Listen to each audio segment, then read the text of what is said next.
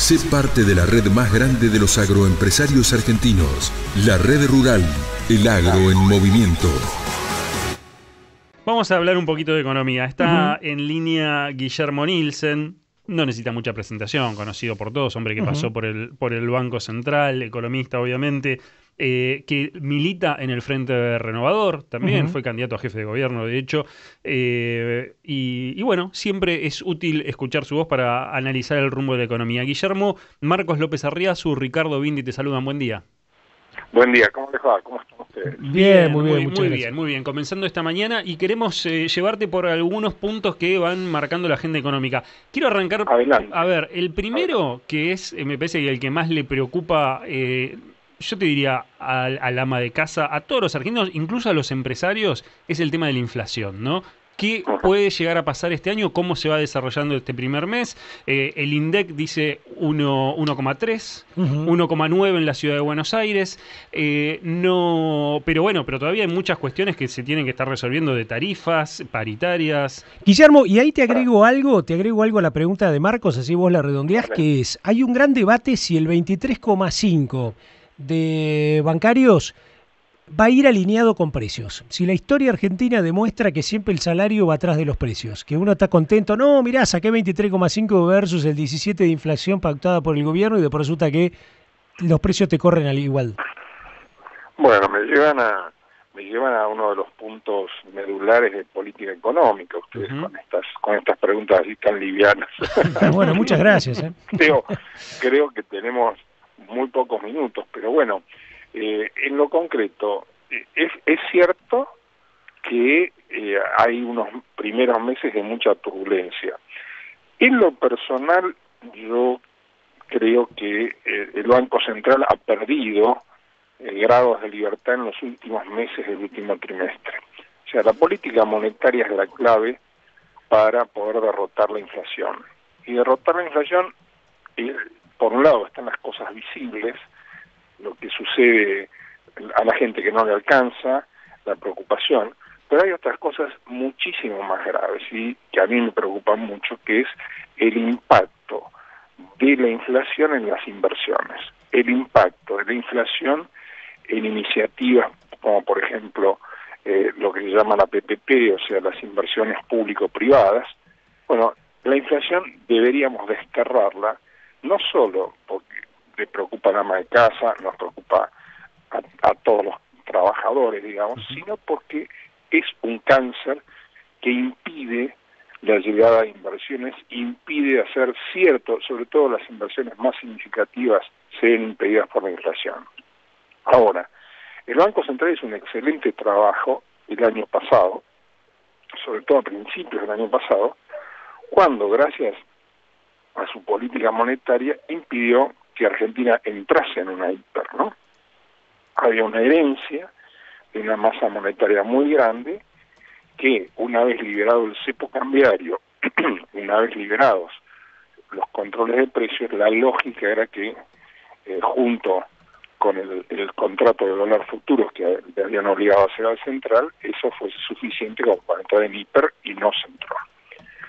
Eso es lo positivo, ese es el gran mérito de la gestión de Federico Sturzenegger en el Banco Central. Yo veo, yo lo veo aflojando. Creo que hay, lamentablemente, hay alguna gente con poder de decisión en el gobierno que no termina de entender la importancia de la estabilidad de precios. Entonces, hay una presión muy grande porque la tasa de interés es muy alta y creen que aflojando la política monetaria este, bajando la tasa de interés será suficiente para reactivar. Esto lamentablemente es algo mucho más complejo. Pero bueno, eh, así me parece que estamos iniciando un año con claroscuro, ¿no? y, y, la, eh, y, la, segunda parte que eh, agregaba Richard, esto de el tema de paritarias versus inflación. Paritarias y salarios, vean, no, no solo bancarios, en general, en general, puede suceder que eh, cuando los aumentos salariales van muy por encima de los aumentos en la productividad son fuente de inflación también. Eso sucede. Eh, eh, todavía me parece que no Lo de bancarios, bueno, es uno de los salarios, pero tenemos que ver qué es lo que sucede. La economía argentina, lamentablemente, está llena de distorsiones, está llena de posiciones, llamémosle monopólicas, entre comillas, o sea, posiciones desde donde haciendo fuerza se pueden obtener aumentos mayores que el aumento de la productividad, ¿no? Entonces, eso puede, en muchas circunstancias, eh, ser inflacionario. De todas maneras, la clave para todo esto es la política es monetaria. la política monetaria. y, todo lo demás es, cháchara o son desvíos menores, digamos. A ver, para los que la verdad no, no conocemos tanto de economía, no sabemos que somos, yo me incluyo y muchos de los que están escuchando, ¿qué, qué es lo, lo que cambió en la política monetaria? ¿Qué es lo que usted dice que hay riesgo de acelerar la, inflación o de no detenerla, por lo menos? hay, hay un afloje en, en todo el último trimestre.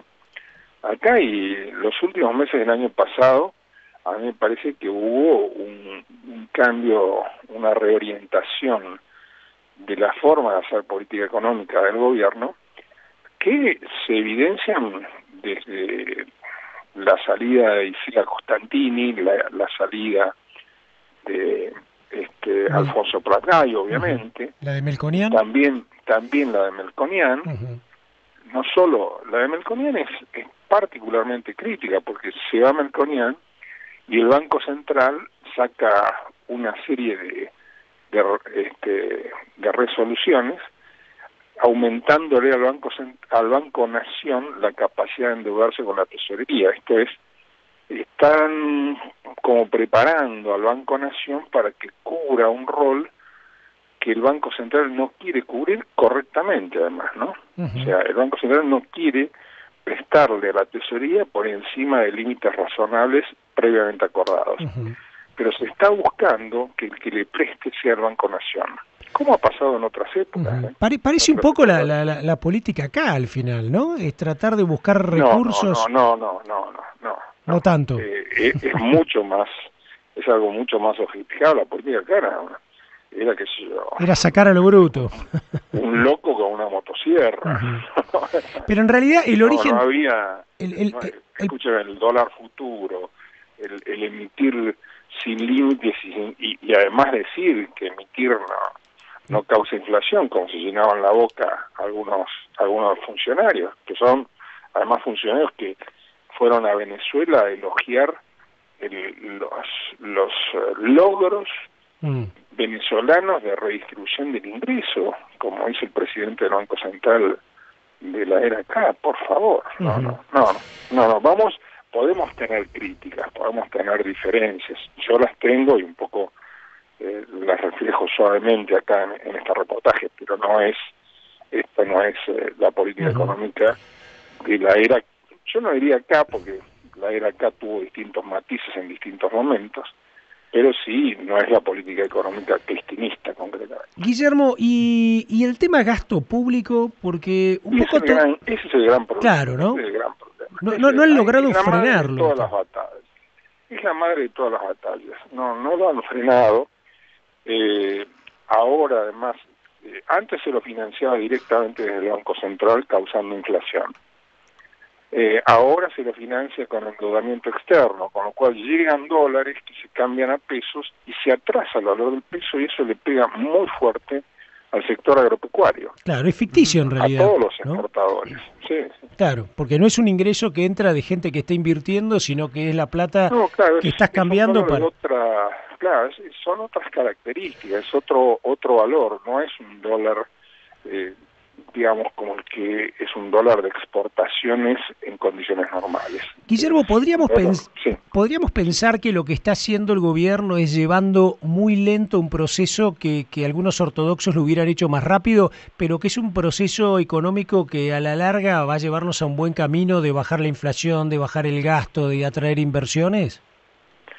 No, se, se puede ver así. El problema es que eh, ahí lo que estás planteando es la diferencia entre gradualismo y shock, o sea, es un problema de velocidades. Sí, exacto. Sí, sí, sí. Pero además si el camino es bueno, ¿no? Hacia esa hacia, el, objetivo. El camino indudablemente es bueno y es, es, un camino como para volver a poner a la Argentina eh, en una situación de crecimiento.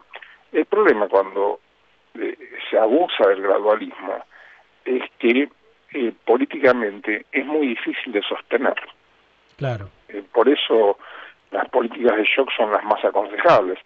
El problema es que eh, con el tiempo, con el acostumbramiento y con el devenir, y un poco lo que, lo que ha pasado lamentablemente en estos días, nos muestra que los gobiernos inicialmente tienen un poder muy grande, entonces lo que se aconseja en política económica es hacer, tomar las medidas cuando el gobierno tiene el mayor poder.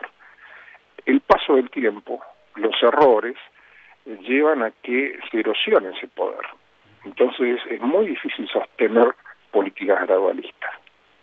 Esa sería, digamos, la síntesis, ¿no?